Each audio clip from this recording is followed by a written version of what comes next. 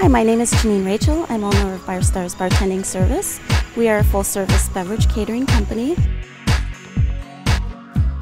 Um, my name is Christina Snell. I am the sous chef here at the Boerner Botanical Gardens on behalf of Zilli Hospitality Group.